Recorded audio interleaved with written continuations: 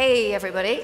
Um, what an absolute pleasure to be following uh, Jack Constantine from Lush, uh, a company that shows you don't have to be a complete dirtbag to be an international success story. Really, really love what those guys are doing.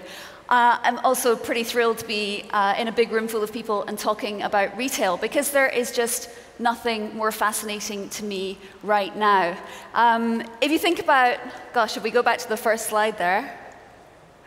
I think it's really interesting because if you go back maybe 25 or 30 years, it felt as though the future of retail was all pretty simple. Retail was a pretty straightforward thing. Uh, the future would have looked a little bit like this, I guess.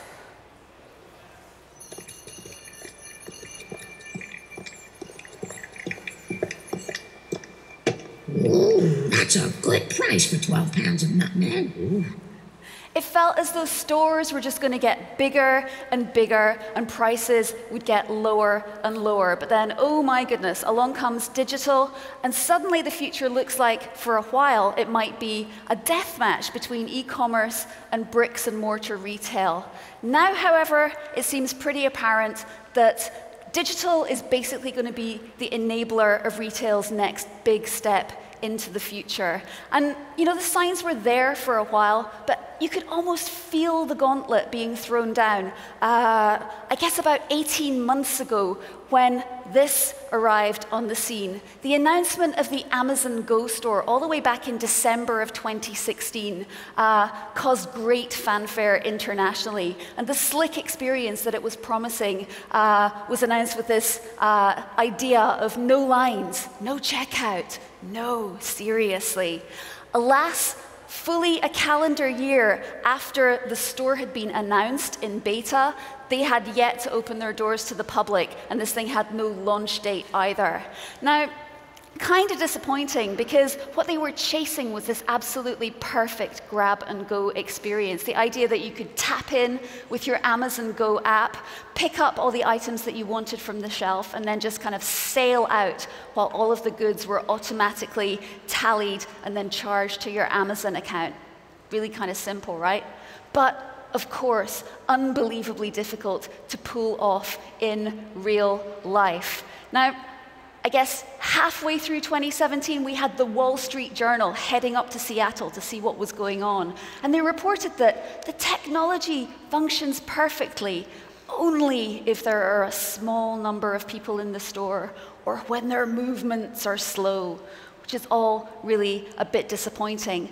But while Amazon Go was kind of stuck in this state of perpetual beta, what happened was that all of the momentum in this space seemed to shift to China, where a number of automated staffless stores were already open and trading with the public.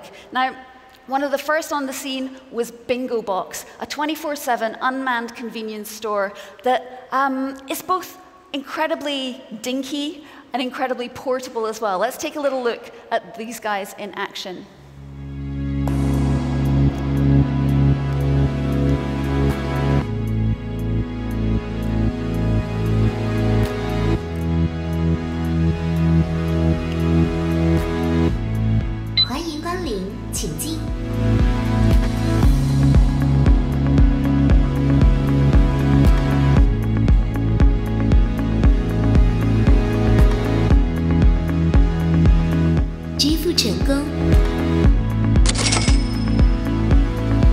支付商品，请放回货架。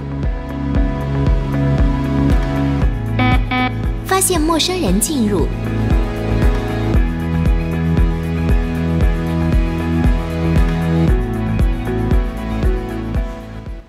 Now, I will grant you it's not quite as slick as the vision from Amazon Go, but it kind of made up for that by being, you know, fully operational round about February of 2017, months and months and months ahead of Amazon.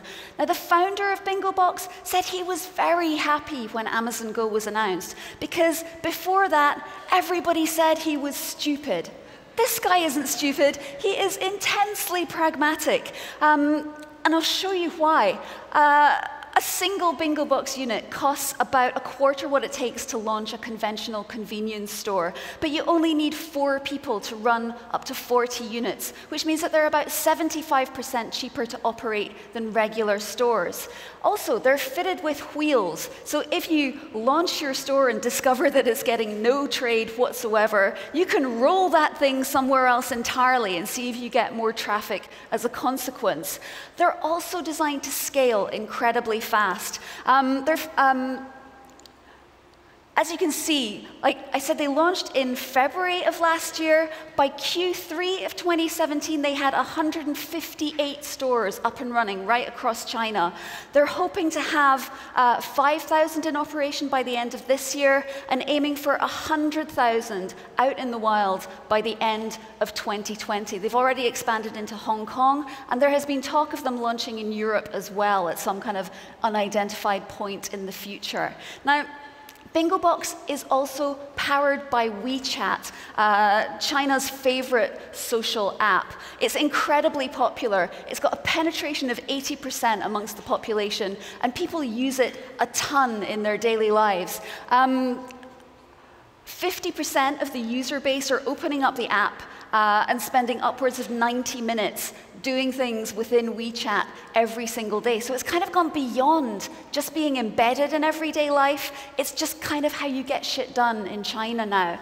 And the reason that we're paying attention to all of this stuff, this fascination for automation that we're seeing in China right now, is because it feels like it could be us five or so years from now. Um, there's a number of factors contributing to this kind of perfect storm that's happening around automated retail in China right now. For one thing, mobile payment, as we all know, is huge. Cash is being virtually sidelined while the total value of China's mobile payments tripled across the year 2016 to $5.5 trillion worth of value. Just to give you a comparison, that's about 50, 50 times the value of the mobile payments market in the United States of America, where Goldman Sachs rather memorably described the uptake and adoption of digital wallets as underwhelming to date by nearly every objective standard. Come on, America, buck up. Now, Another thing that kind of helps in China with this automation uh, thing that's going on right now, and it's kind of counterintuitive, is having an authoritarian government. Because what that means is that they have a policy of real name registration for everybody using a mobile phone and those social platforms. What that has helped to do is establish real trust and credibility around mobile payments as being something that you can rely on. And it's also, of course, made it incredibly easy for retailers to collect all of that incredibly valuable consumer data.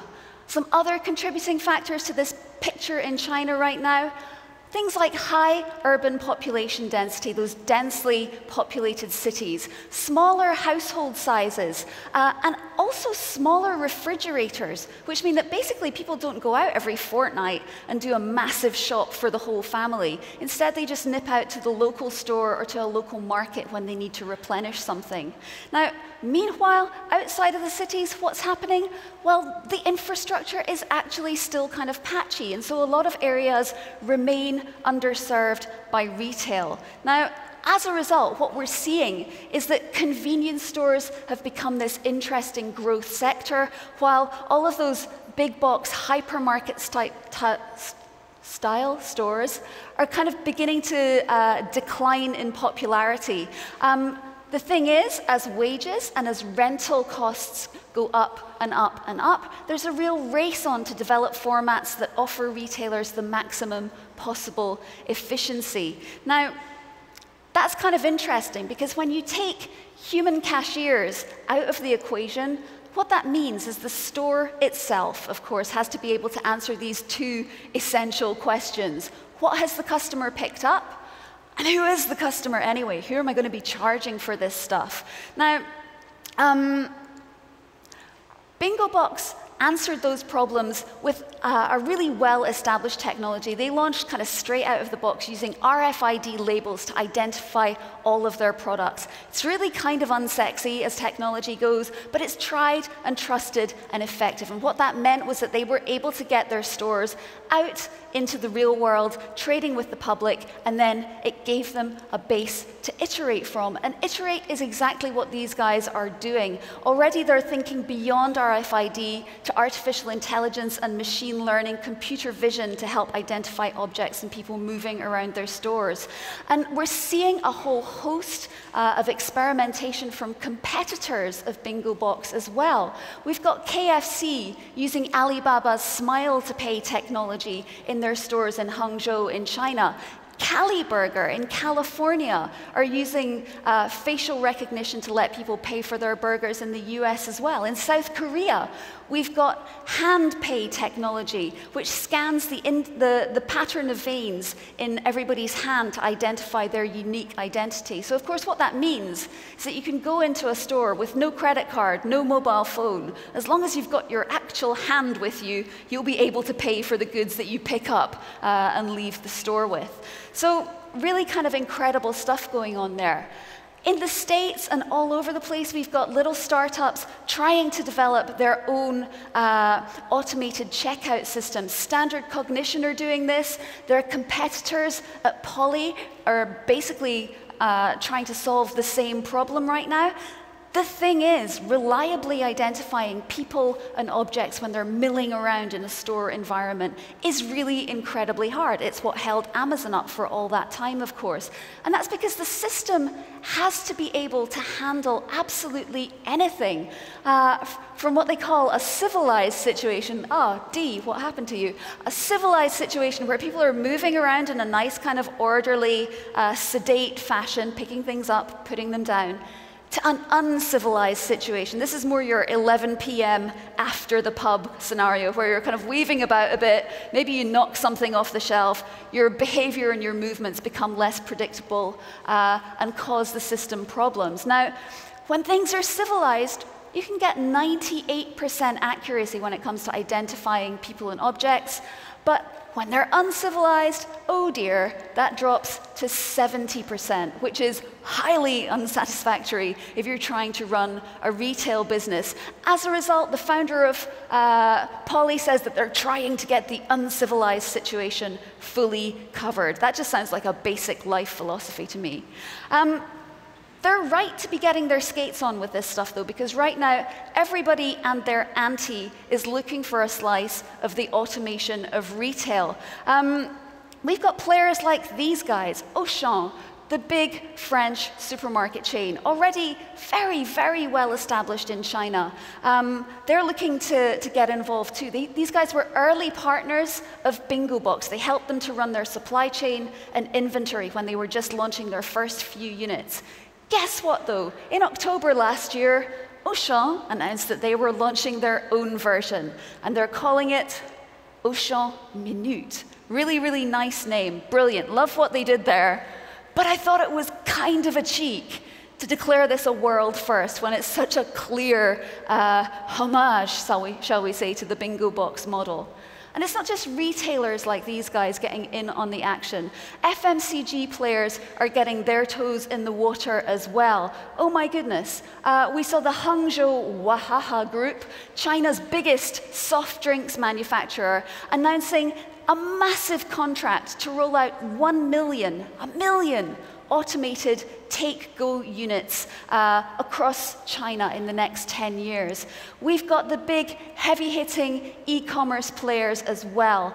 JD.com are such a huge deal in China. They're working on their own automated store format, and what's more, they're working on a suite of technology tools that will help smaller retails to optimize their stores as well and kind of level up into the digital age.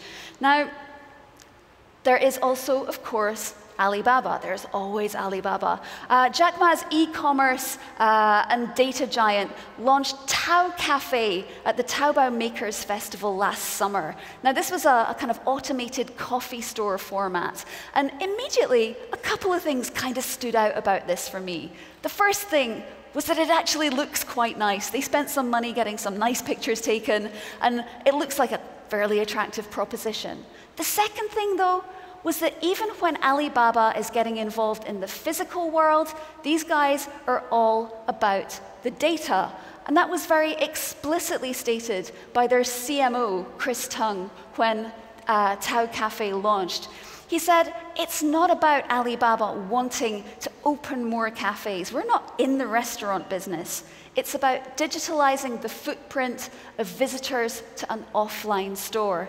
Now, that's really crucial because for years the shop floor has been a bit of a dark zone when it comes to data, but that could be about to change. Now, Alibaba has absolutely years of experience now uh, in tracking every single user's experience across its ecosystem of platforms. Now, that's information that it consolidates into their single unified ID for each and every customer. It's information that it uses to tailor each and every customer's experience according to their preferences on all of those platforms as well. And of course, that unified ID is also the holy grail of retail in general. But shop floor data has kind of always been the missing link. And Jack Ma here, well, he thinks he knows somebody who can help with that. Would you like to have a guess? It's Jack Ma and Alibaba. Now, the thing is, rapid growth aside, uh, what Jack has noticed is that after all these years, e commerce still only accounts for about 15% of total retail in China. Alibaba now has its eye firmly on the bigger number, positioning itself as the go to partner uh, to deliver digital transformation for the 85% of retail in China that still happens in stores. Retailers, though, they're kind of wary about this right now. Um, the question that they're facing is is it better to kind of wait on the sidelines until all of these little startups have built up enough expertise and experience in this rapidly developing space? Or do we just kind of throw in our fortunes with the big player, with Alibaba, who are there in the background experimenting harder and faster and more impressively than almost anybody else? That's a really hard question. I mean, literally, what would you do? It would be really nice if the slide advanced at this point. Um, is there a way of making that happen, or have we indeed frozen? Anything happening? Yay! So, a serious question, and one that the future of many, many businesses actually kind of hangs on right now. Now, in the meantime, while the prevarication on the part of retailers is happening, Alibaba, of course, continues to experiment harder and faster than anyone else. One of my favorite experiments of theirs right now is a chain of cashless supermarkets called Hema. Now, they're really kind of interesting. We're going to watch a video. I'm really sorry about the music. The longer it goes on, the less you're going to like it. But stick with it, guys. Here we go.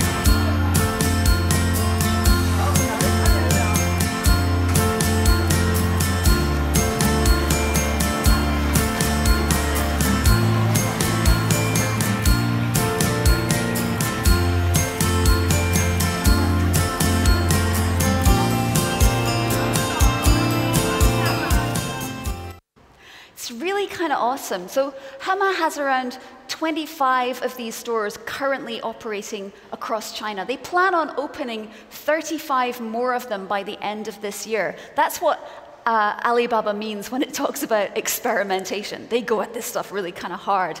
And these stores, they're fascinating to me. Um, these aren't data dark zones. These are uh, brick and mortar real world extensions of the Alibaba online network. They're not just designed to be functional and efficient, they're designed as experiences, and everything about them is designed to play up the fact that Hema's produce is incredibly fresh and wholesome. And they're not just stores either. These are fulfillment centers. That feels like a term whose time is really coming, actually, fulfillment center. And so they're servicing a, a, a radius of three kilometers around each store where people can uh, use their mobile phones to order their groceries and have them delivered within half an hour. So, really, really interesting stuff from these guys. And I think what's fascinating about this is that Hema clearly hasn't been conceived as just a point of sale.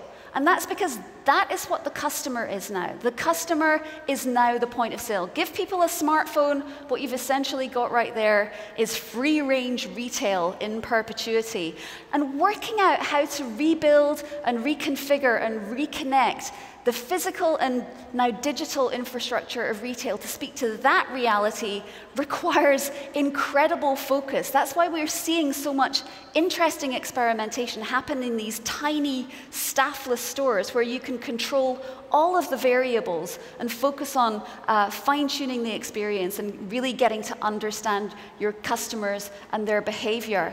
Now, it also takes a lot of chutzpah cold hard cash, uh, and an obsessive streak, which is why I think that people are talking about uh, Amazon's acquisition of the Whole Foods market in the US, basically as a step in exactly the same direction. I guess, unlike Alibaba, though, Amazon feels like a retail player that's trying to establish retail dominance in that market. And as a result, everyone, every other, retailer is absolutely quaking in their shoes about the impact of Amazon on uh, retail in America and further afield as well. Jack Ma's ambitions play a little bit more to his company's obsessive focus on data and its determination to be seen as the key that unlocks the future of retail for all of its partners in China and inevitably at some point beyond as well. Now, the thing about Alibaba also as well is that they have the vision and they have the scale and the speed of execution on their side in this big quest that they're on right now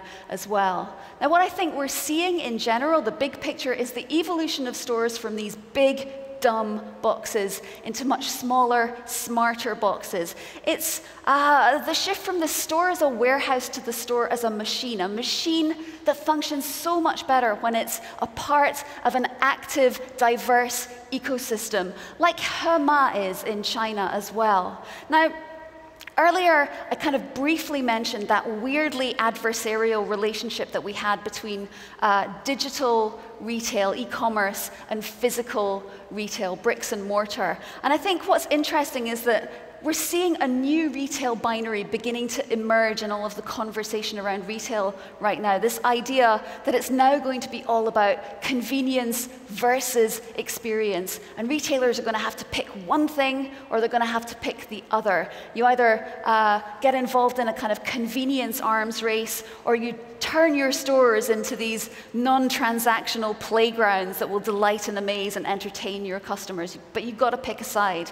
For me, I think the future of retail is relentlessly non binary. And that's because that's how people are. People are incredibly diverse in their needs. People want different things at different times from the same stores. And the future of retail is all about figuring out how you're going to deliver on that for as many of those incredibly diverse, nuanced customers as you possibly, possibly can. And they're going to have to work incredibly hard and fast and smart to achieve that particular goal. That right there is the challenge that these automation experiments that we're seeing in China and elsewhere in retail really are about helping us to solve. And the really exciting thing for all of us, I think, and anyone involved in retail, is that it's only just getting started. So hold on tight, everybody. Thank you very much.